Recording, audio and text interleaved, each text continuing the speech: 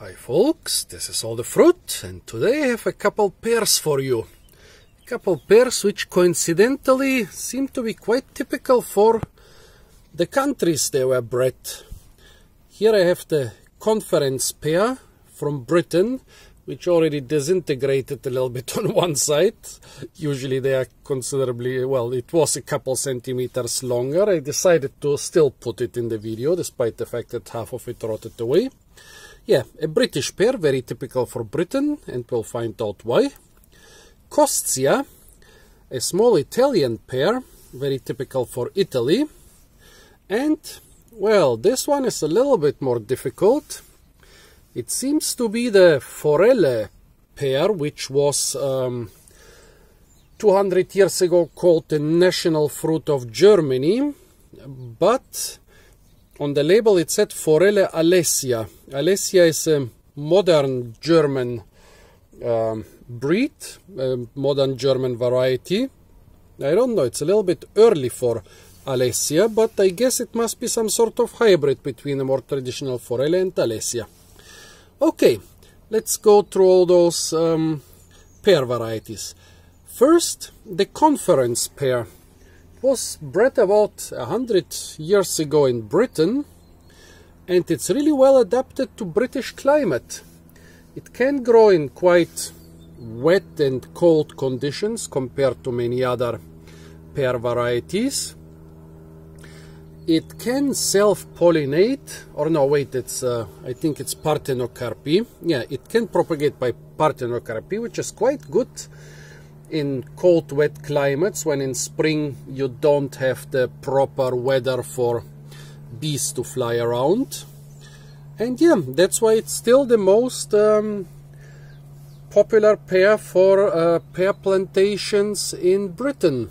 It's also quite popular in Germany because of course parts of Germany have a pretty British climate. It's still one of the most popular pears in Germany.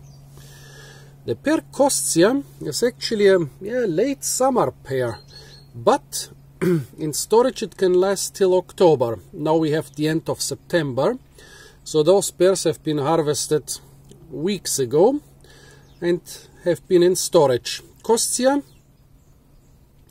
is a good pear for raw consumption, but unlike the other pears around here, it's also quite common for jams and other preserves.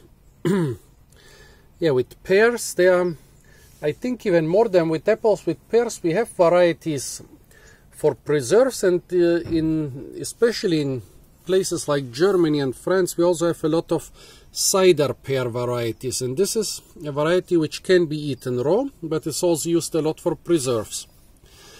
Here the pear Forelle, Forelle in German means trout and it's said that the name comes from the fact that the skin looks a little bit like the skin of a trout. However, those things here were not as forelle, but as forelle alessia. Well, the forelle pear is an autumn pear, so now would be pretty much, yeah, still a little bit early for the German harvest, but those were from Italy. By the way, all those three were from the same box. There were a couple of pears with this quite unusual shape, which is more closely to conference. I don't know if it's just a freak hybrid with some other variety which was overlooked or why a couple pears have a different shape. But all those three are from the same box and should be the same variety. Well like forelle yeah it's a little bit early for forelle in Germany but since those come from Italy I guess it's quite uh, okay. The time for them is quite okay. The pear Alessia is a modern variety from Bavaria which actually it's quite late. It's a winter pear. Basically, you harvest it in October and you can sell it until January. So I wonder, well, this Forelle alessia seems to have a lot more in common with the Forelle parent than with the Alessia parent. Also, Alessia is supposed to be a lot more red than those pears here. Yeah, quite interesting pears especially since they really represent the uh, yeah the classic uh, how shall I say yeah they're they're quite typical for the different countries like the the conference, which can grow in cold and wet climate, the Italian summer pear, very early, and summer fruit are usually not very durable, used for preserves, and then the typical German Alessia pear, by the way. Uh, the German Forelle Alessia, by the way, this Forelle in Germany can be grown mostly at really fertile, sunny, uh, open spaces. So if the ground is infertile or not warm and sunny enough or not open enough, you get a lot of trouble. And so I guess it's quite logical that a lot of the cultivation has shifted to Italy. Now let's try them. First, let's try the half that remains of my conference pear. I bought only one and it, half of it disappeared. Mm -hmm. Well, yeah. It's a nice ripe pear. Sweet. Juicy. No complaints. Really good ripe pear. Can only recommend this if you manage to get such ripe fruit even in cold wet places like Britain. Yeah. Definitely all the power to you. Well, not to Britain, but to such good pears. Now let's try the Italian Coscia.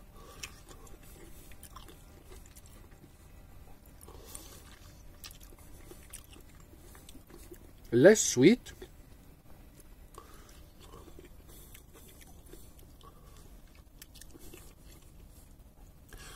Less sweet and also with the flavor, with this typical flavor of those summer pears. Don't know how to describe it it's a different flavor. Usually find it, you find it in those small summer pears and not so much in the big autumn and winter pears.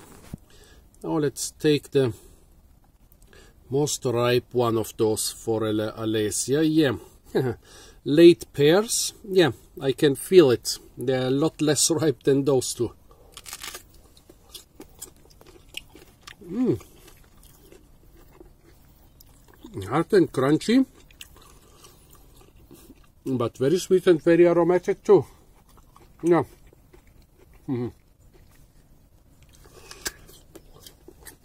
Mm hmm. This could definitely last some more time in storage. Definitely longer than those. Than the quite soft and quite ripe conference. I picked the ripest fruit in the in the box.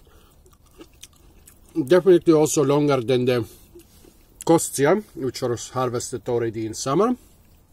Yeah, this Forelle Alessia can definitely last for many more weeks, but even now it's perfectly fine to eat. Yeah, two great pears. I don't know, I mean the sweetest one was definitely the, the Conference. Yeah, this Forelle Alessia was almost as sweet and I'm sure when it gets soft it will be about as sweet or even more sweet than this one. The Coscia was a little bit yeah a little bit less sweet. I've had much sweeter summer pears. Not bad. If I had it alone I, I, I wouldn't complain at all but com compared to those it's a little bit less sweet. So yeah. I would say first place basically a yeah. Those two, the conference and the um, Forelle Alessia. Second place, the Coscia pear. So folks, those were three pear varieties. Conference, Forelle Alessia and Coscia Three pear varieties very typical for Britain, Germany and Italy. Stay tuned for a lot more fruit videos from the beautiful country of Germany where you get a lot of foreign pears. And don't forget to like, share, comment and subscribe.